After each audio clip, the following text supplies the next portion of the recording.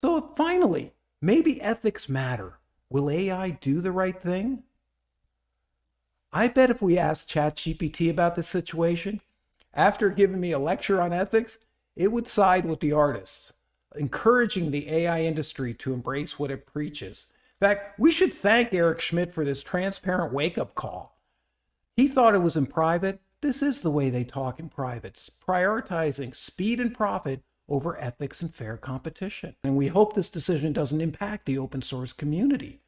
But as AI continues to evolve, will the small victories of today lead to a more balanced and fair tech industry tomorrow? Well, stay in touch, listen, and support these artists. Go out there. Go on social media. Start backing up these artists who are putting their time and probably money into this effort.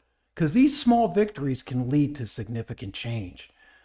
There could be an uprising going on, or maybe I'm just crazy and AI's in control and we should just let them attack, steal, and sue and just accept that as reality. This lawsuit is a watershed moment. Reach out to these artists, let them know you care, and even more, let the AI companies know that you should reach in your pocket when you get billions of dollars of funding and find a way to pay for the content that determines what your output is. Because that, theoretically, is a violation of copyright law, but honestly, it's not ethical.